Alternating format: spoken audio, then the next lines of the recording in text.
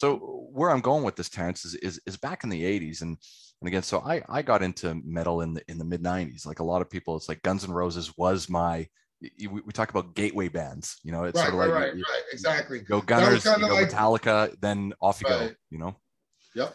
And That, was, so- that was like Iron Maiden and stuff for me. Iron Hmm. Maiden and uh, Judas Priest and things like that. Those those bands are obviously just heinous gateway bands to things to, to come. You know. So in-. In in the 80s then and, and where i'm going with this conversation is from my understanding when we go sort of what, what is that 30 30 40 years in the past now yeah, at the time it was just kind of considered heavy metal. So do you remember when the genres began to sort of split off into this family tree? Because it was sort of uh. like maiden sabbath priest deep purple and all of a sudden metallica comes out and that sort of seems to be like a first point with kill 'em all of where it, we start getting this divergent path almost yeah. I, I, I man, I.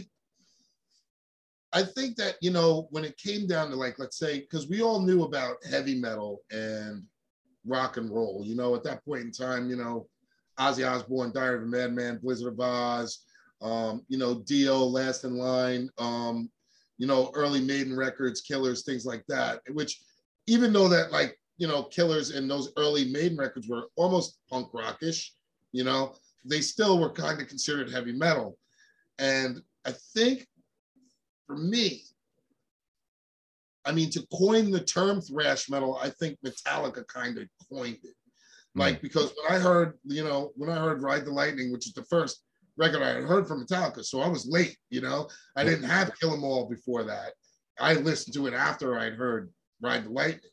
And I was like, I guess, I don't know, what, 16, maybe 15 or 16.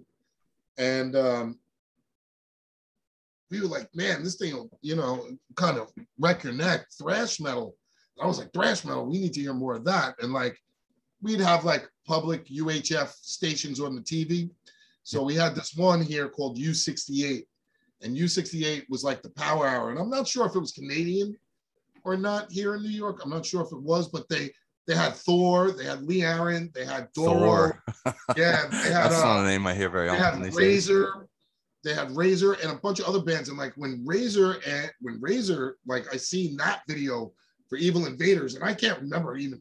I was a fucking kid, you know. Yeah. I was like, this is just the greatest thing I've ever heard, and it just literally opened up my whole mind to like so many other different bands. So at that point, you know, every weekend we were at the mall going to all the record shops looking for things that had crazy different album covers on it.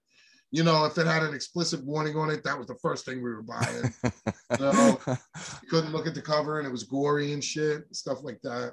It would have had to have been Canadian then, because both Thor and Razor are in and in. Yeah, and I Right. mean, back Yeah. then that was like thrash metal, and obviously, as I, I was telling you, you know, we had our local radio station here, and uh, when we went up there, there was we were exposed to less like whatever that radio station had sent to them, you know, through the mail. So it, it kind of opened up a lot of things, like bands like Hirax and uh, uh, Messiah, and um, you know, the Cryptic Slaughters, the the Wehrmachts Yeah, autopsy, you know, because being that young and at the time we weren't really playing out of state, everything was like, you know, a mailing list at your show. Like you'd sign up for it, you'd get a flyer, or maybe you'd go over to the merch booth and buy a CD. And everything from that point was tape trading. Mm. So, you know, that was how I was exposed to more slowly but surely more more music, more and more thrash metal. Now we just get all that through the internet, you know. We Yeah. don't get the physical copies and you're not having to take a sub cassette or a CD you burned and put it in the mail and send it to somebody.